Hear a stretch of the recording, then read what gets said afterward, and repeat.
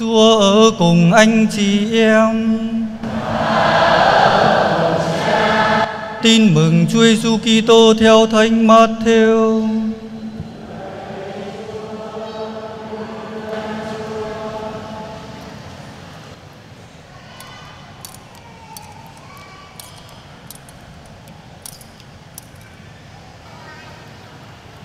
Khi ấy, Chúa Giêsu trở về quê nhà, giảng dạy dân chúng trong hội đường. Họ bỡ ngỡ và nói rằng, bởi đâu ông này khôn ngoan và tài giỏi như thế? Ông không phải là con bác thợ mộc ư? Mẹ ông không phải là bà Maria và Jacobe, Giuse, Simon và Juda không phải là anh em của ông sao? Và tất cả chị em của ông không phải ở nơi chúng ta đó sao? Vậy bởi đâu ông được mọi điều như thế? Và họ lấy làm gai chướng về người nhưng Chúa Giêsu nói với họ, Không có tiên tri nào được vinh dự nơi quê hương và nơi nhà mình, Và người không làm nhiều phép lạ tại đó, Vì họ cứng lòng tin. Đó là lời Chúa.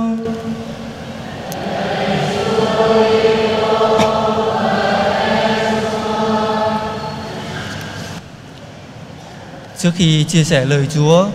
con xin được hợp ý với quý cha đồng tế cũng như toàn thể quý khách, xin được chúc mừng cha chánh xứ cùng quý hội đồng hương giáo sứ Thuận Thành. Chúng ta đã tổ chức thánh lễ kính thánh quan thầy, đặc biệt với cuộc cung nghinh thật hoành tráng, trang trọng và sốt sáng. Lại còn dâng hoa rất tâm tình nữa. Xin cộng đoàn nộp một tràng pháo tay để chúc mừng ạ.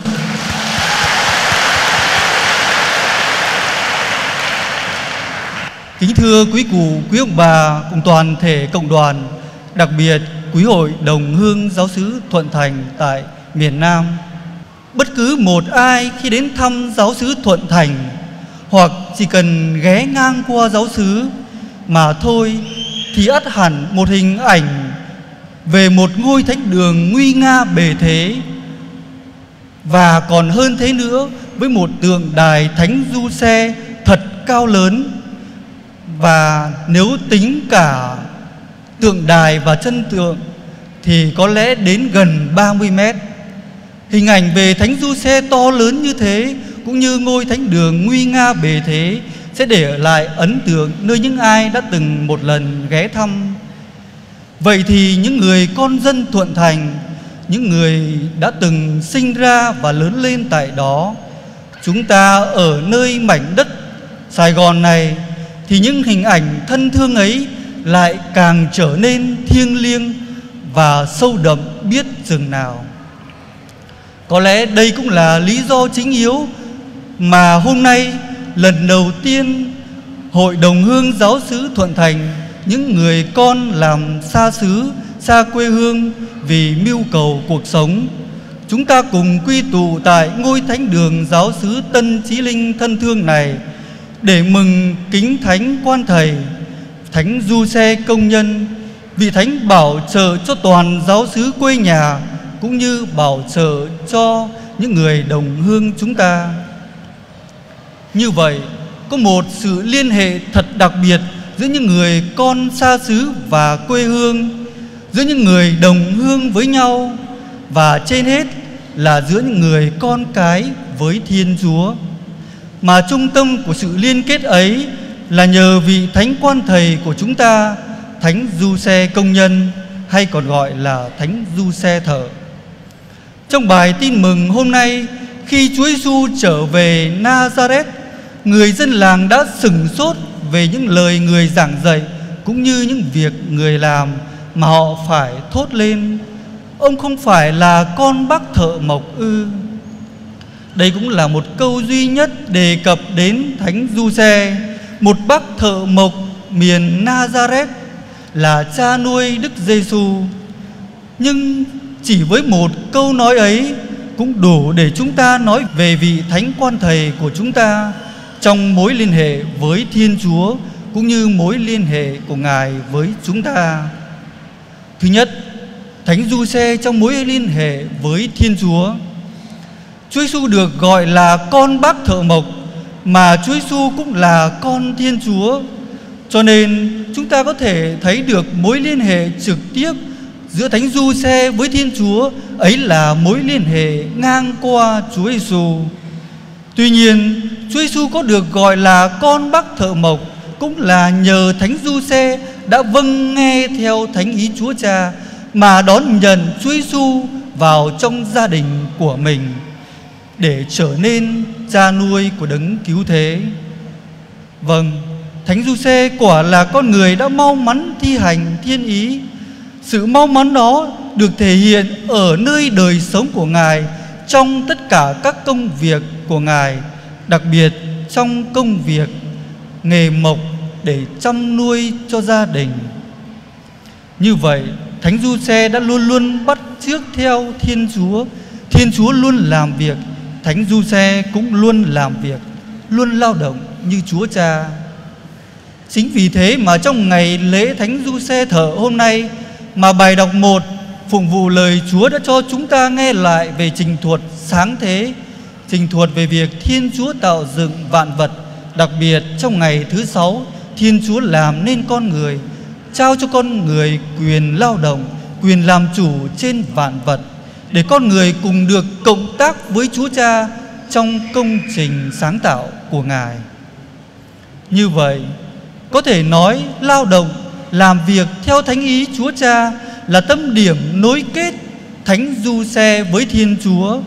Mối liên hệ đó được thực hiện qua tâm điểm là Đức Giêsu vừa là con Thiên Chúa, là con nuôi của Thánh Du Xe.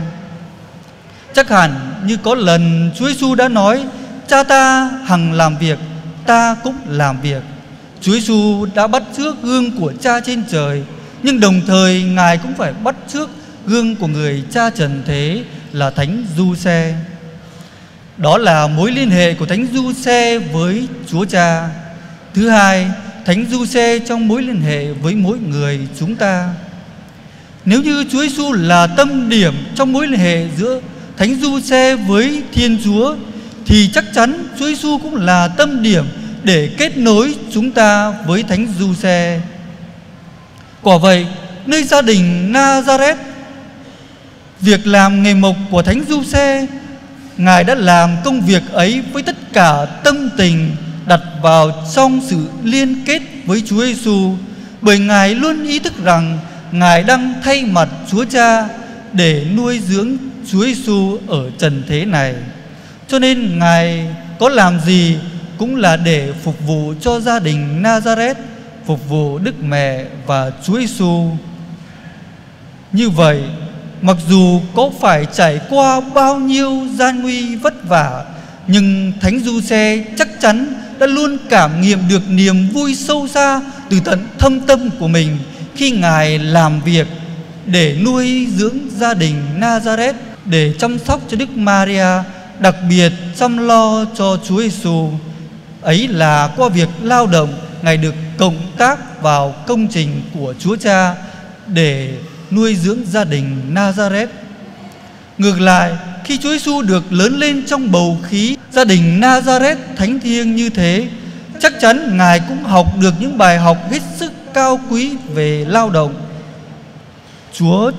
cũng đã muốn chúng ta cũng hãy bắt trước Ngài mà đến cùng với Thánh Du Xe học nơi Ngài bài học về lao động, học nơi Ngài về bài học tôn trọng những giá trị mà lao động đem lại. Thưa cộng đoàn, Chúa Cha đã luôn luôn làm việc để sáng tạo vạn vật. Chúa Con cũng luôn luôn làm việc để cứu chuộc.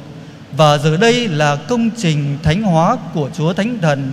ngang qua giáo hội, ngang qua chính các cộng đoàn giáo xứ giáo họ, ngang qua chính các gia đình